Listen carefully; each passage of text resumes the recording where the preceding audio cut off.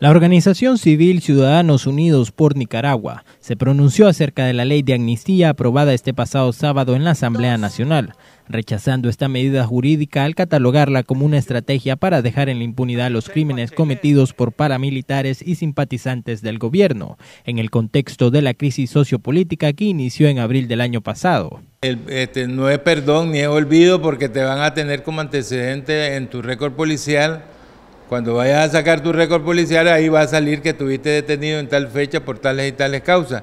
Y eso es prohibido porque o, no es esa la ley que, que, están queriéndole meter gato por liebre a la gente o, a, la, o a las organizaciones, ¿verdad? Entonces, ese es un problema serio.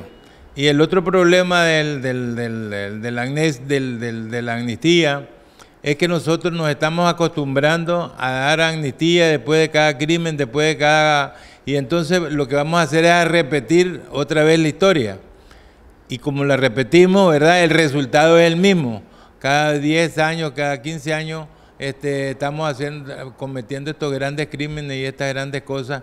Y como no hay castigo, entonces hay repetición de, de los hechos.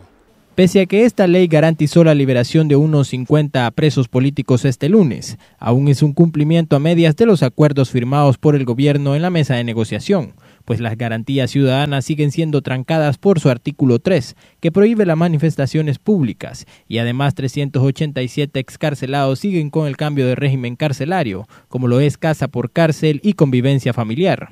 Vemos que el día de hoy salieron 50 presos políticos, ¿verdad? Pero esta ley tiene un vacío donde ellos dicen de que si ellos los vuelven a capturar nuevamente con cualquier actividad que están haciendo, prácticamente lo están amenazando que los van a volver a, echar presos. Y los que han salido antes de hoy han salido casa por cárcel, con esa condición que prácticamente le violenta más los derechos humanos a esos ciudadanos que en su libre y libertad de movilización, como todos ciudadanos tenemos el derecho a la, libre manifestación, asociarnos, etcétera. Entonces nosotros valoramos esta ley ¿verdad? Una ley aprobada por, ya sabemos, una maquinaria del partido de gobierno que viene de, fraude tras fraudes electorales y nosotros el 18 de abril para acá la población se manifestó cívicamente, pacíficamente a lo largo y ancho del país porque quiere un cambio, quiere una democracia y quiere una libertad.